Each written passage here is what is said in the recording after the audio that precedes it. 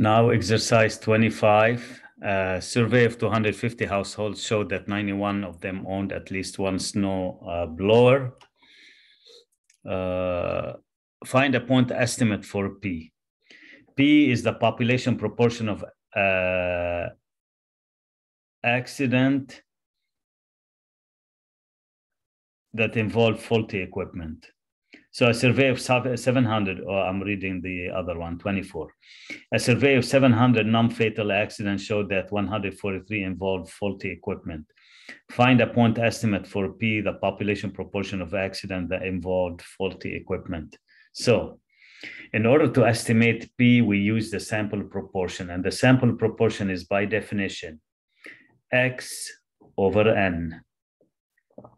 N is the sample size, and X is, they call it the number of successes, like the, the number of equipment that involved uh, faulty equipment, which is number of accidents, which is 143. So the answer will be 143 divided by 700. And just divide 143 by 700.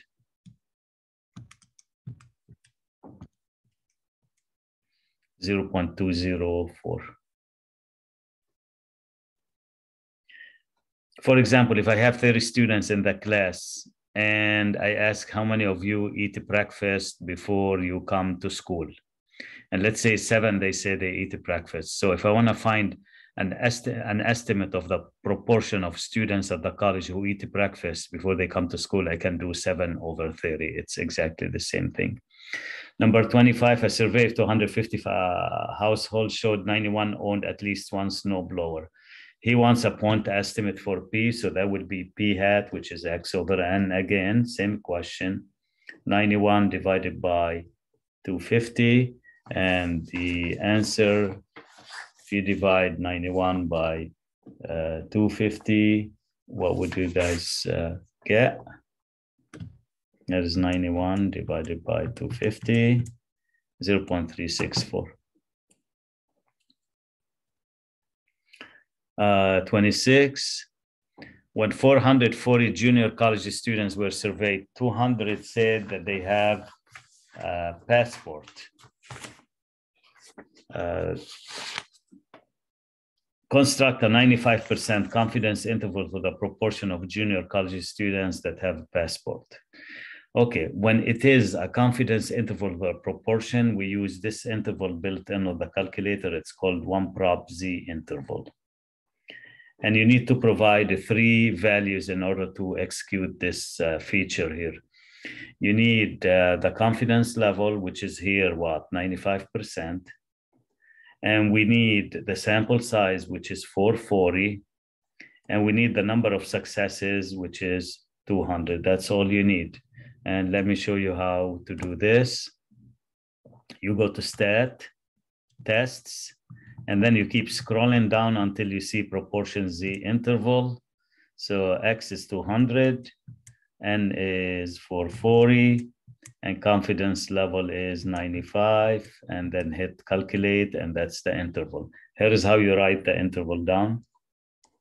P, that's a proportion, 0.408 and 0.501. Now, if I ask you to interpret this interval in words, you say with 95% confidence, we can say that the true proportion of junior college students that have a passport is between 40.8% and 50.1%. Next question. An article a Florida newspaper reported on the topics of teenagers most want to discuss with their parents. The finding the results of the poll showed that 46% would like more discussion about the family financial situation, 37% would like to talk about school, and 30% would like to talk about religion. These and other percentages were based on national sampling of 546. So the sample size is 546. Estimate the proportion of all teenagers who want more family discussion about school and we want 95% confidence interval. In other words he wants to construct a 95% confidence. So we need nx and the confidence level. This is the confidence level so we still need x. Well he didn't give me x explicitly but he says 37% would like to talk about school. We know, guys, that p hat is x over n. If I try to solve for x using some algebra here, so x will be p hat times n. So actually x will be p hat, which is 0.37. He wants a confidence interval about students who would like to talk about school. So it's 37% times the sample size, which is 546. Let's see, what would that be? 0.37 times 546, 202.02. But remember, X is a whole number, is a number of successes, so it can't be decimal. So when you put it into the calculator, just put 202. And let's show you, if you, if you put 202.02, the calculator will not work. So you go stat tests, proportion Z interval. See, I'm gonna put 200.02, show you what's gonna happen. N is 546, and the confidence level is 95. See, it's error. So we go back.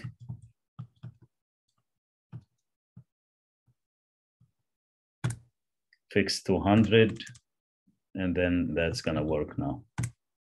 So here's the proportion P. And as you can read it here, 0.3259 and 0.4067 with 95% confidence, we can say that the true proportion of students who want to discuss, uh, who want to talk about school with their parents is about between 32.59% and 40.67%. 28.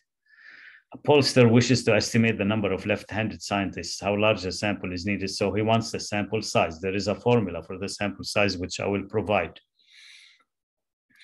Uh, in order to be 95% confident that the sample proportion will not differ from the true proportion by no more than 6%.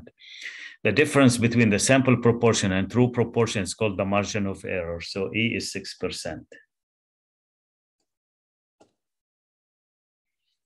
A previous study indicates that the proportion of left-handed students is 90%. So I'm gonna put the formula here and show you how we, uh, uh, we can use uh, this formula. All right, so let's continue here. There's the formula.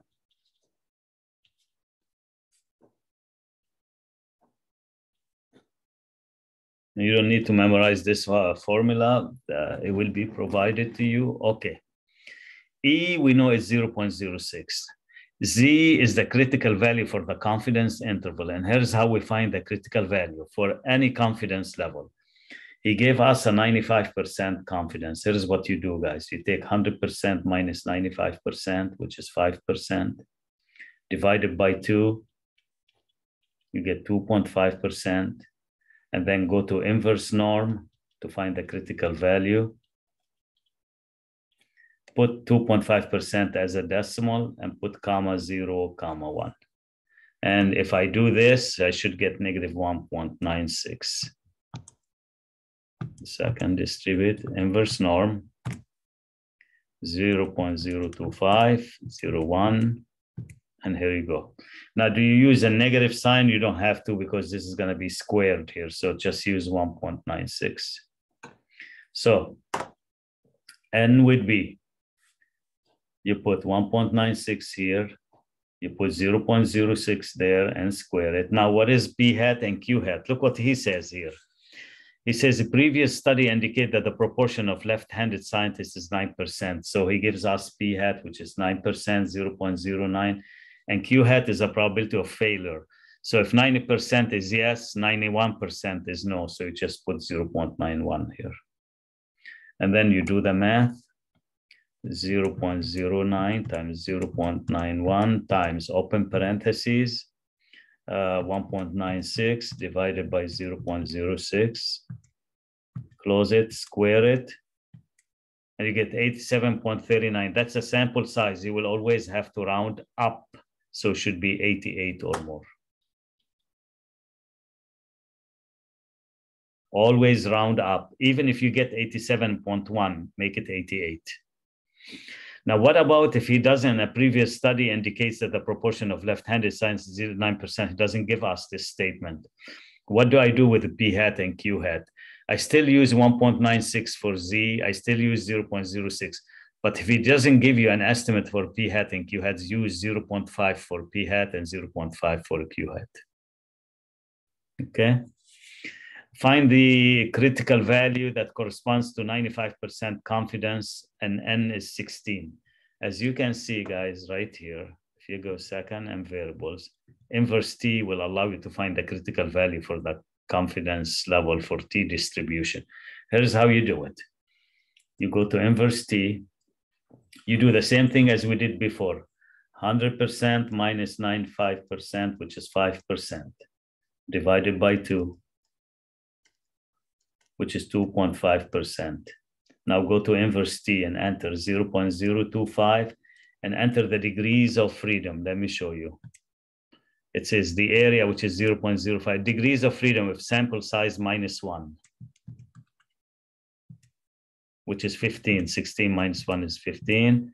And it's 2.131. Again, you you uh, you don't have to use the negative value, just use the positive one. Uh, 30, suppose a 90% confidence interval for mean turns out to be 1,000, 2,100. If this interval was based on a sample of size 25, what assumption are necessary for this interval to be valid?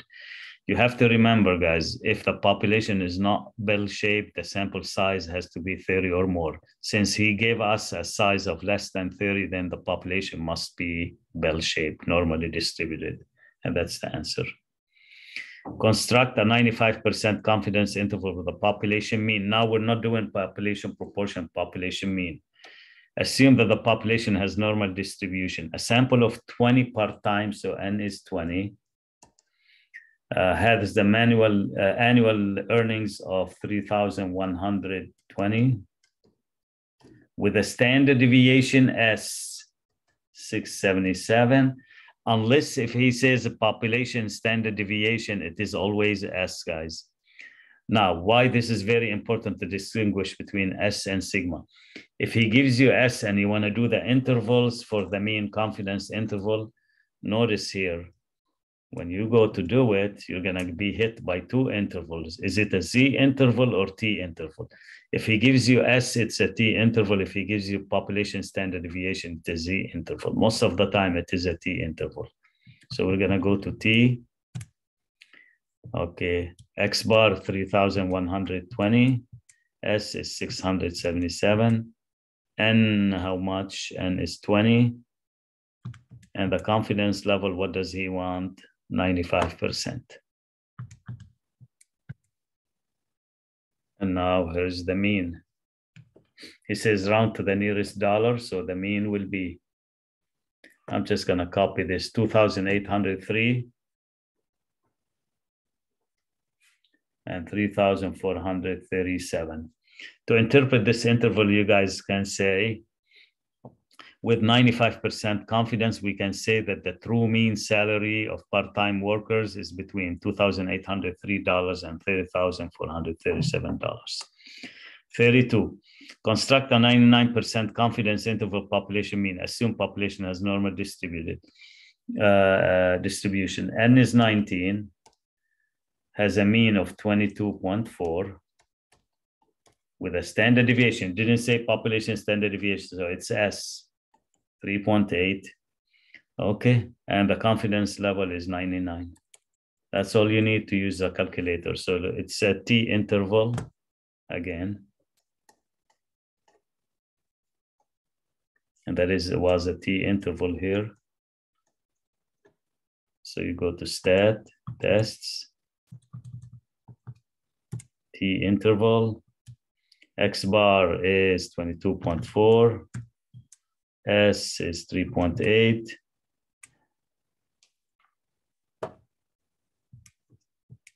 N is 19, confidence level, calculate. So here's the mean, 19.89 and 24.91. To interpret this interval, you say with 99% confidence, we can say that the true mean age is between 19.89 years and 24.91. 33, the grade point average of 10 randomly selected junior college students are listed below. Assume that the grade point average are normally distributed. Find a 98% confidence interval. He gives you raw data, guys. So this is what you have to do. You have to put the data into a list. And I've done that already. It's already in L1. And then it is a T interval since he didn't mention population standard deviation. Okay, now we have to select data. My list is in L1. Don't touch the frequency, leave it always uh, at one, and that's 98. And here's the mean. 1.55 and 3.53. Interpretation. With 98% confidence, you can say that the true mean GPA average is between 1.55 and 3.53. 34 in a random, so that's the interval again. It's very important interval. In a random sample of 60 dog owners, so N is 60, uh, enrolled for obedience training, it was determined that the mean amount spent per owner was 109.33 per class. Now, okay, pay attention to this. Assuming that the population standard deviation of the amount spent is $12. So now he gives us sigma, not S. He says population standard deviation. Here's the hint right here. So you cannot use T interval. You must use what? Z interval. Okay, uh, he wants a 95% confidence interval. So you just go to stat, Z interval. That's the time where we use Z. And see, it's prompting you, you have to go to stats. Sigma is 12. X bar is 109.33. N is 60 dogs. Confidence level he wants 95.